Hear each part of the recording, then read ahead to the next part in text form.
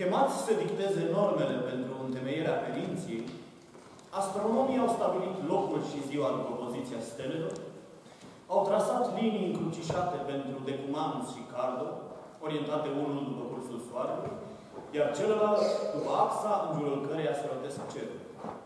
Au împărțit harta conform celor 12 case ale zodiacului, astfel de templu și fiecare cartier să primească influența potrivită de la constelațiile ele.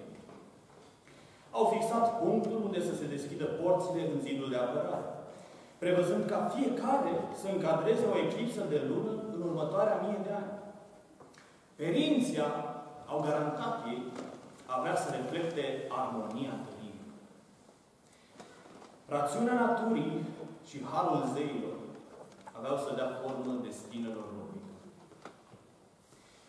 Calculele astronomilor au fost urmate în tocmai și perinția a fost construită. Neamuri felurite au venit să o populeze. Prima generație a celor născuți la Perinția a început să crească între zidurile sale. Iar aceștia, la rândul lor, au atins vârsta la care să se căsătorească și să aibă copii. Pe străzile și piețele din Perinția întâlnești astăzi schilozi,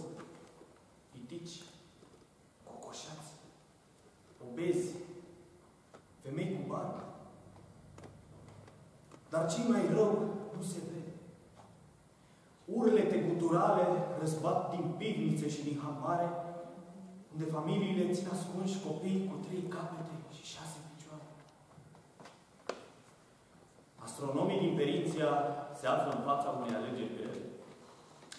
Fie să admită că toate calculele lor au fost greșite, iar cifrele nu reușesc să descrie cerul, fie să arate că ordinea zeilor este în tocmai cea care se oglindește în orașul monștru.